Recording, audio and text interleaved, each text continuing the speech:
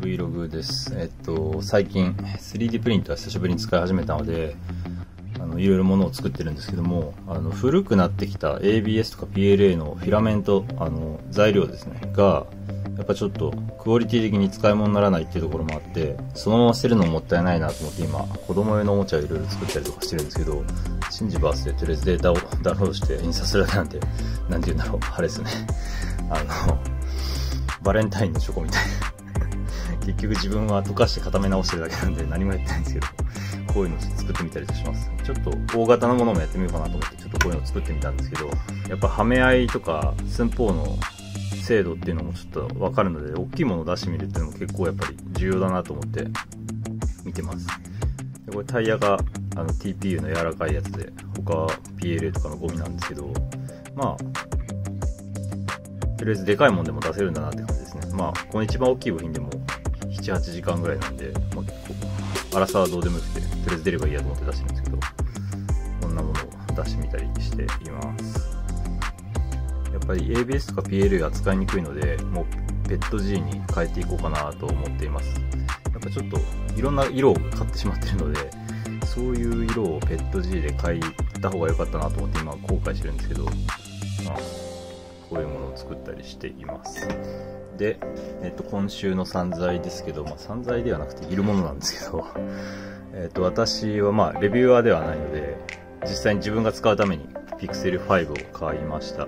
まあ、欲しいと思って買ったというよりは、まあ、最新機種は使いたいなっていうのは毎回あるんですけど、今回はあのソフトバンクで私もあの50ギガの契約をして1万円払い続けるっていう有料ユーザーなんですけど、あの半額サポートっていうのがあって、えっと、以前 Pixel 3を買って Pixel 4はもうちょっとこれがいいところないなと思って見送ったんですけど、えっと、2年経つとあの残りのえっと、48回で分割払いをあえて選ぶと、えっと、2年後に以前の機種を返すと、その残りを払わなくて済むっていう特典があって、まあそれを使うためにある意味、無理やり買ったってイメージなんですけど、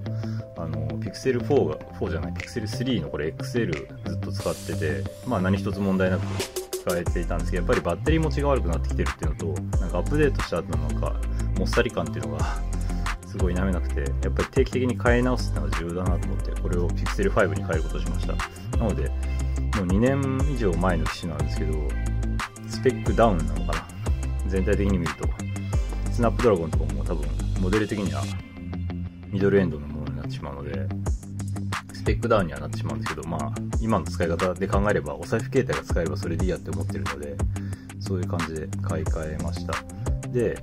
レビューアーの人は、あの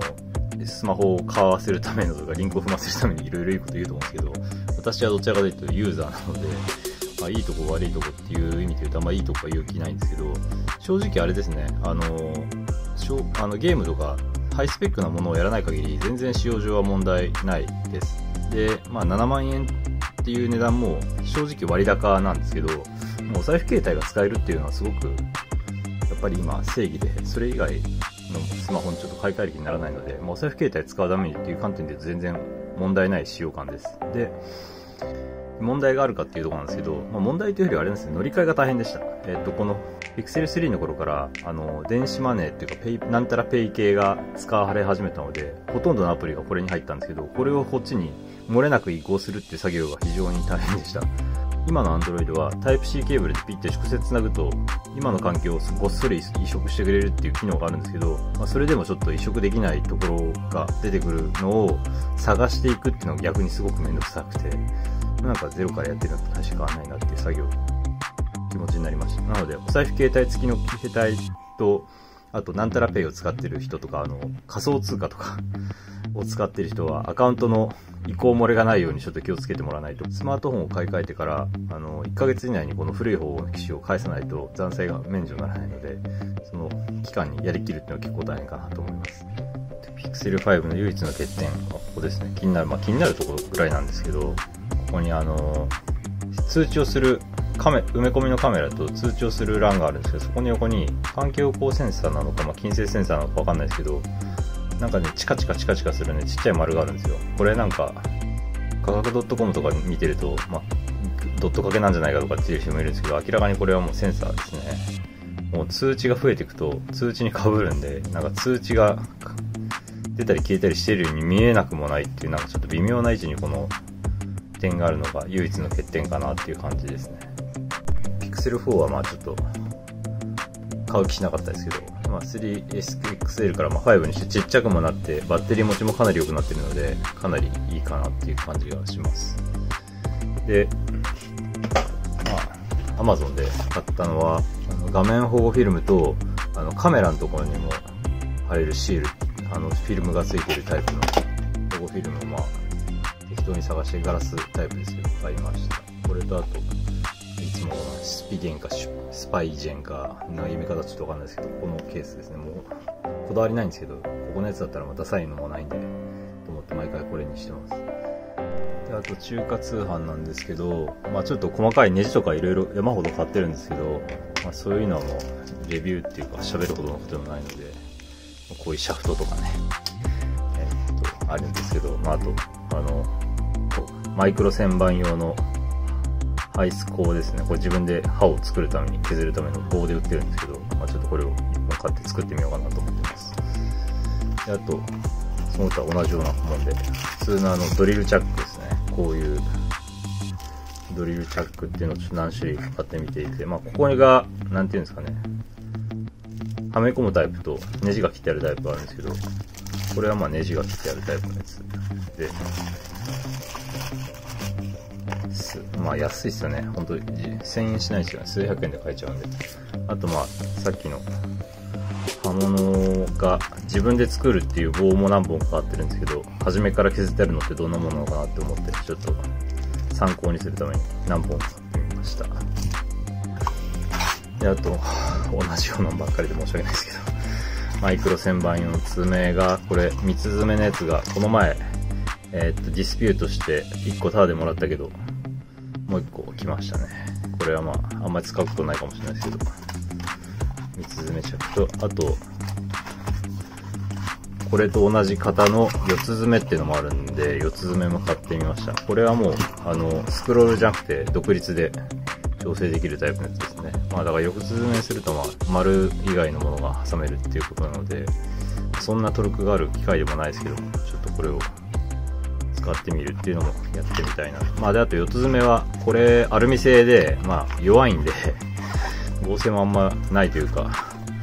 なんていうんだろう、チャックが負ける感じがあるんですけど、ちゃんとした、あの、鉄のタイプのやつも買ってみてます。まあ、うまくつけばまたご紹介しますと。あとよくある、今までちょっとあんまり芋ネジって使うことなかったんですけど、最近ちょっと芋ネジを使う工作にハマってるので、芋ネジセットっていうのを買ってみました。なかなか使いたい時にないので、毎回大体諦めて適当にネジ切っちゃったりとか、なんか、